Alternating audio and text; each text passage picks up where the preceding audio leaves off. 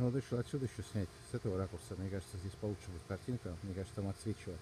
Ну, вот после того, как мы поговорили, я сразу же пошел и поплавал.